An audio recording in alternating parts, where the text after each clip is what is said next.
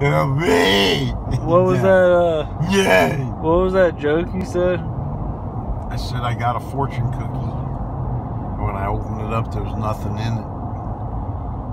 So I figured that it either meant that I had no future, or that it was such so good. There was so much good shit that was gonna happen. They couldn't fit it all on that little piece of paper.